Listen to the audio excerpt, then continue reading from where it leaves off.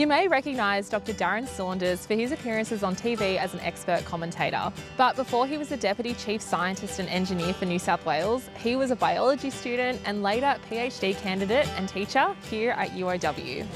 In 2024, Darren was awarded the Alumni Award for Professional Excellence for his commitment to science communication.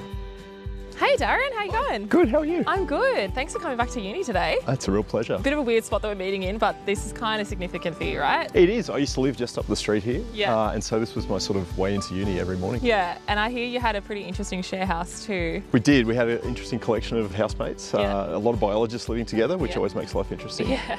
So I think we're going to take a little trip down memory lane today and hear about your time at UOW. Does that sound good? Sounds awesome. Awesome, let's go.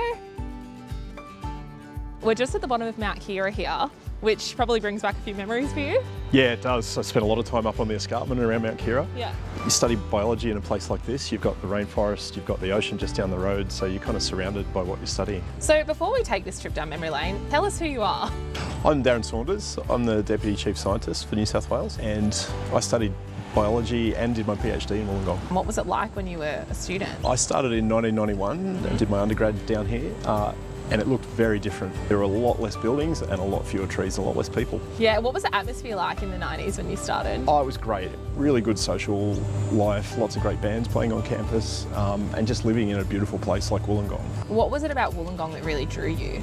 A, it was the surroundings. It's just an amazing campus, but also the, the subjects I was interested in studying. This was just the best place to come and study it.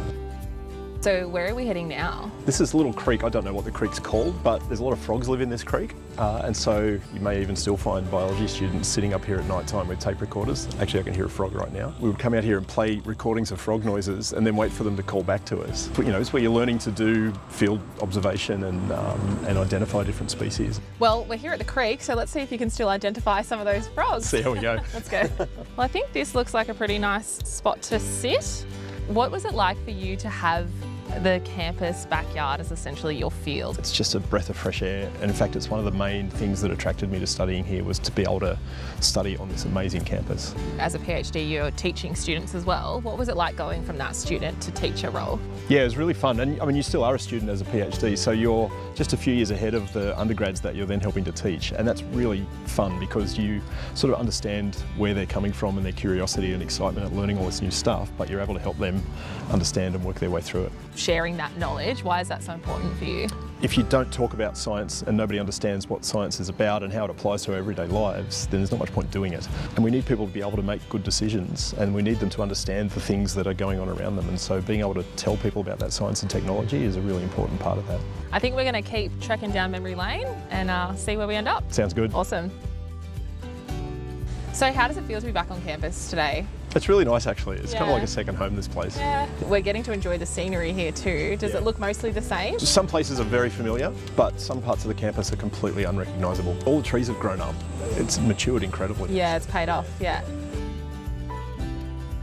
Did you always want to be a scientist? Yeah, I did. I always had that um, innate curiosity. You know, I always wanted to know how things worked. And I spent a lot of time as a kid in nature.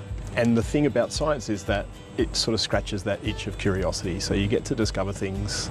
Uh, you might peer down a microscope one day and see something that no one's ever seen before, which is pretty cool. How do you think your experience here helped you? One of the amazing things I got from studying here was sort of a huge network of people that I still draw on in all sorts of different ways to help me with my work um, and that allow me to stay really connected to what's going on in, in really different fields of science.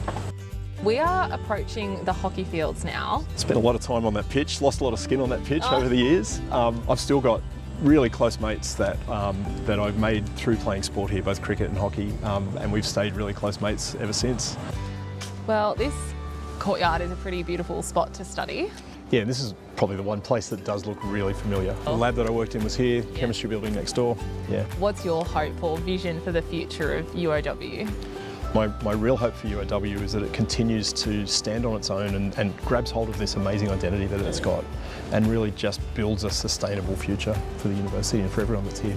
Awesome. Well, thank you so much for coming on the Memory Mobile today. It's been great, Lizzie. Thank you. No worries. I think we got to get you back to Sydney. Back to work? Yeah, Yeah. exactly. Thanks so much. Great.